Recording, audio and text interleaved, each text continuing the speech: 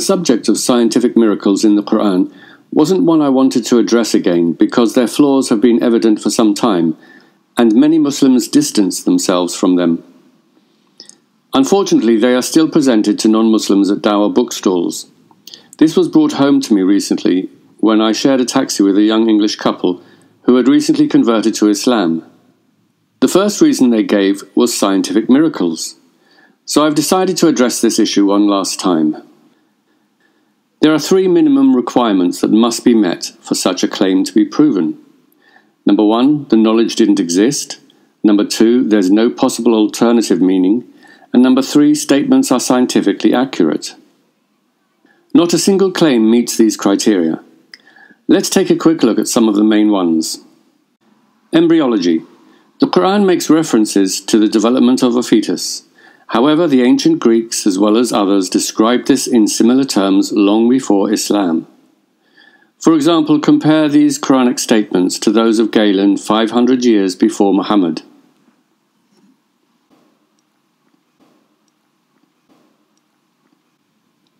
By the way, regarding the latter verse, flesh and cartilage form simultaneously. This was pointed out to Adnan Rashid when he cornered PZ Myers outside a conference in Dublin Adnan immediately responded with, Thumma can also mean simultaneously.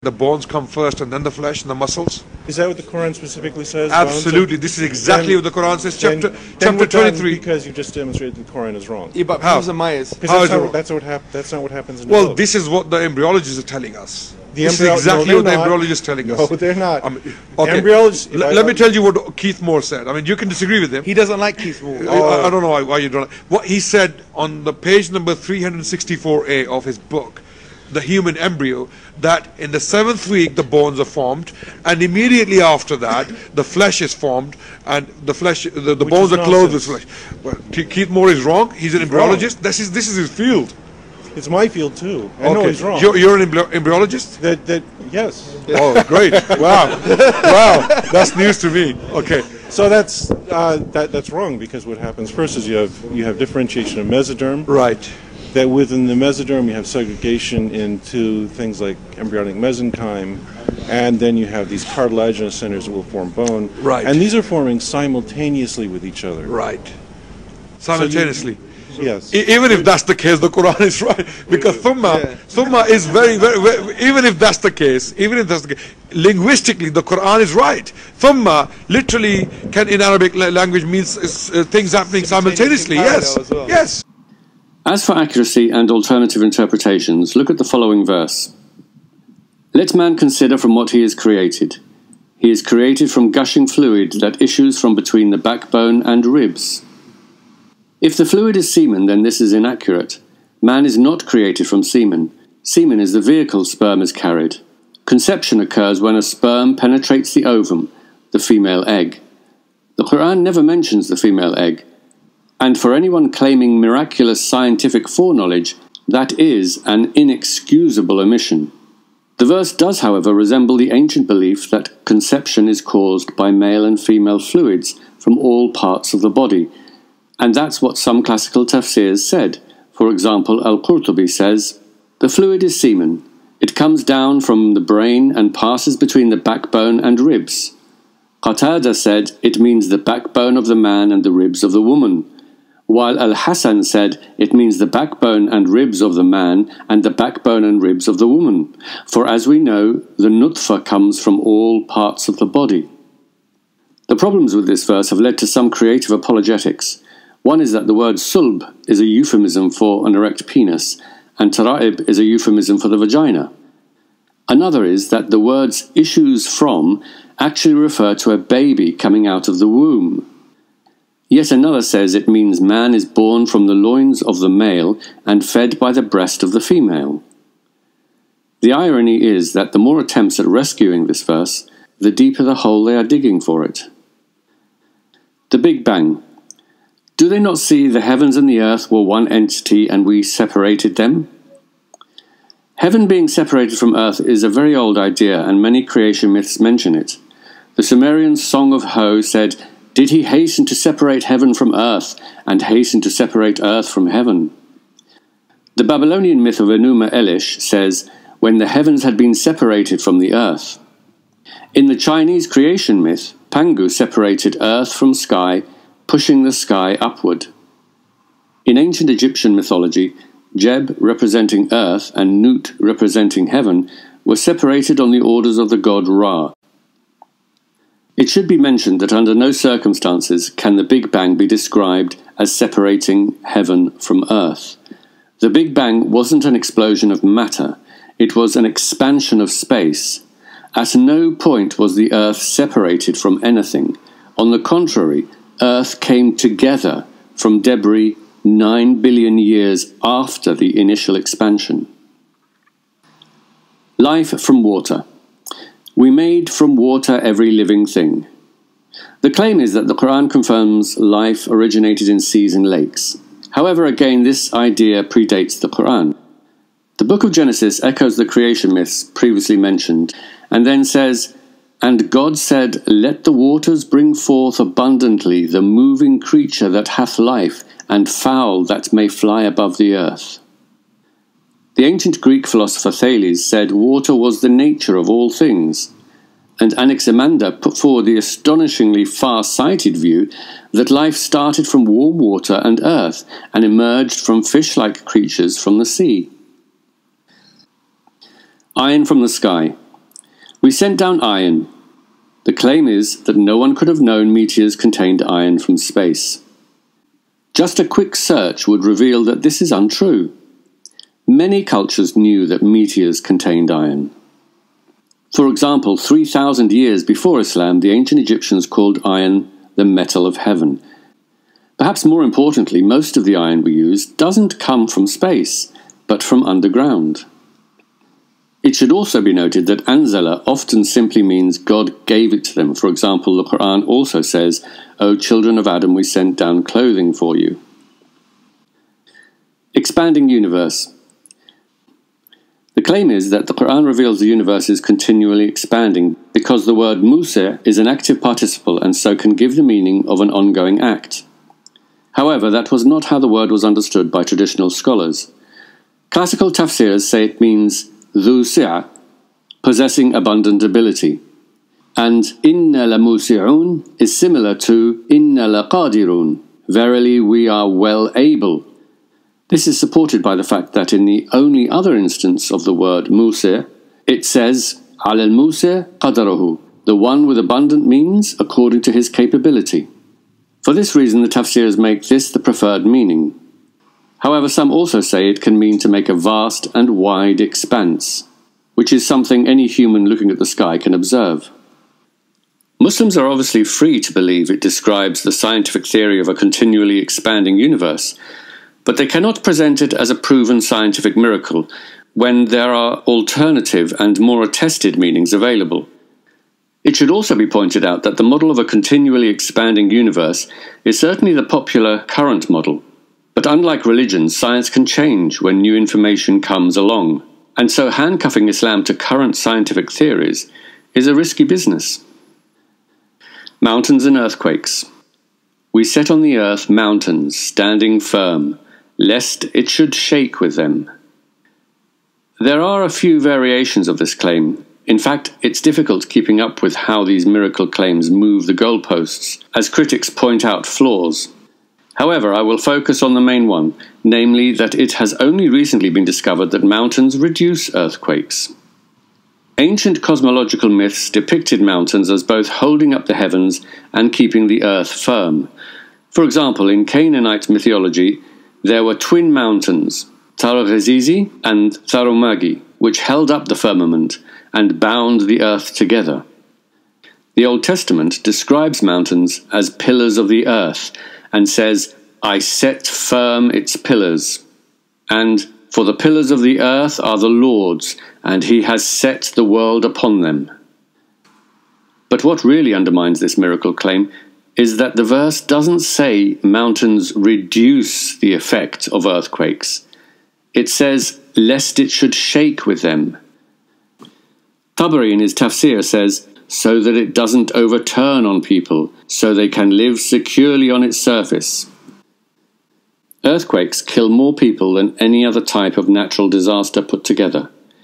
In the 20 year period between 1994 and 2013, three quarters of a million men, women, and children were killed by earthquakes. And they occur on the very fault lines where mountains exist.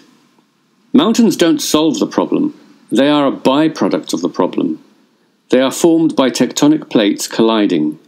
Mountains are not firm nor immovable, even though that's how they appear to us.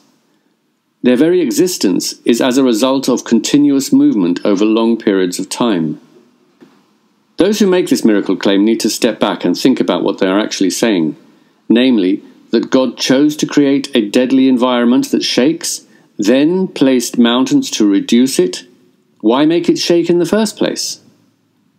And are the millions of deaths from earthquakes much of an improvement? Mountain roots.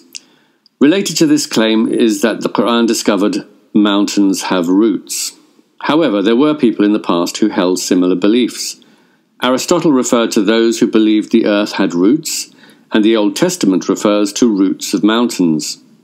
People assault the flinty rock with their hands and lay bare the roots of mountains. To the roots of mountains I sank down. Universe from smoke. Then he turned to the heavens when it was smoke. Dukhan means smoke or vapor. Ibn Kathir in his tafsir says, ثم استوى إلى السماء وهي دخان وهو بخار الماء. Then he turned to the heavens when it was dukhan, which is water vapor. The miracle claim is that the Quran reveals the gaseous state of the early universe or cosmic dust, both of which can be argued resemble smoke or vapor. Again, if Muslims today want to interpret this to be a metaphor for the gaseous state of the universe, they are free to do so. But they cannot claim it is a scientific miracle without precise language to support it, nor can they do so when there are alternative meanings possible. The verse could just as easily echo the creation story in Genesis, which describes the heavens as water, which biblical commentators say means water vapor, precisely how classical tafsirs described it. Interestingly, some Christian creationists regard the Bible's reference to a vapor canopy in Genesis to be a scientific miracle. However, neither the description of the heavens as smoke or water vapor accurately reflect modern theories about the early universe. But even more problematic is that the Quran describes the earth as being formed first. Then God turned to the heavens, which were in this state of dukhan, but the universe was no longer in a gaseous state of the early universe by the time the Earth was formed, nine billion years later. So this doesn't match any scientific model of the early universe. It should also be pointed out that this same passage describes the creation of the Earth in four days and the heavens in two days, which implies the Earth took longer to form than the entire universe. If those who claim miracles had the courage of their convictions, they should proclaim that the Earth took longer to form than the universe, in opposition to modern scientific theories, rather than confining themselves to retrofitting verses after science already made a discovery. Pharaoh's body. We will this day deliver you with your body that you may be a sign to those after you. The claim is that the Quran says Pharaoh's body would be preserved for later generations to see. Classical tafsirs, however, say this means God commanded the sea to throw out his body as a sign for the Bani Israel at the time, because some of them doubted he was dead. They say it is Pharaoh's story that is a lesson for those who come after, just as other past events described in the Quran are signs for people who come after. But for argument's sake, I'll accept it means his body will be preserved for everyone in the future to see. However, since it was already known that the bodies of pharaohs were preserved through mummification, there's nothing miraculous about this. Some Muslims identify the pharaoh of Moses as Ramesses II, while others as Merneptah. In either case, it doesn't matter because they were both preserved through the usual mummification process. And the presence of salt in the bodies doesn't prove they drowned at sea because salt was one of the ingredients of the mummification process. A myth that still circulates to this day is that the body of Pharaoh was found by the Red Sea. This is untrue.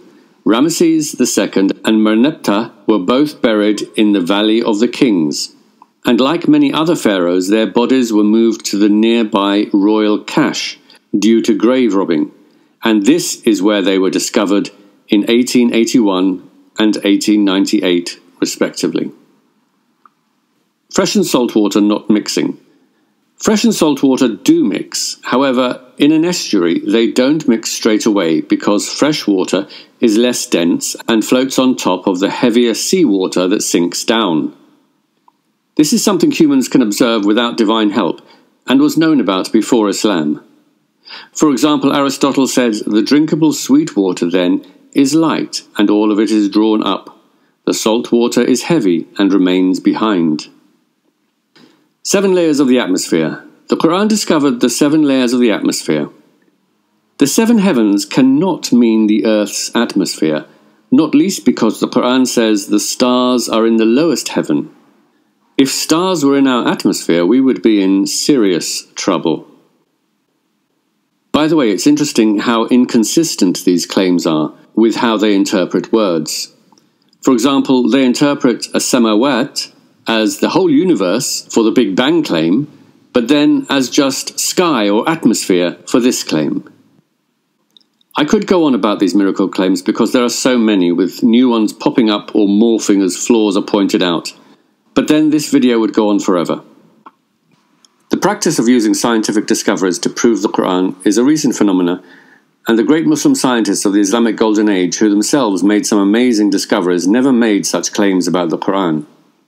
In part, it can be traced back to 1975 in a book called The Bible, the Quran and Science by Maurice Bucaille, a physician to King Faisal of Saudi Arabia. It has led to a phenomenon that many refer to as Bucaillism. In 1984, the Saudi Muslim World League set up the Commission on Scientific Signs in the Quran and Sunnah, with Sheikh Abdul Majeed Az-Zindani at its head. It organized several international conferences where scientists from various fields were invited, ostensibly to help the spread of science in Muslim countries. However, many of these scientists found themselves being presented with quotes from the Quran and asked to comment. They had to rely on their hosts' promises to be completely neutral, but their responses were then edited and used in dawah videos and publications. The Commission set in motion a trend that has dominated the popular imagination of Muslims ever since. But it was a very dishonest and misleading process, and one that many of these scientists have since distanced themselves from. For example, William Hay complained of having fallen into a trap of interviews, while the embryologist Gerald Goeringer complained of manipulation Geologist Professor Alfred Kröner has a standard email reply clarifying his out of context remarks that were used by Muslim apologists.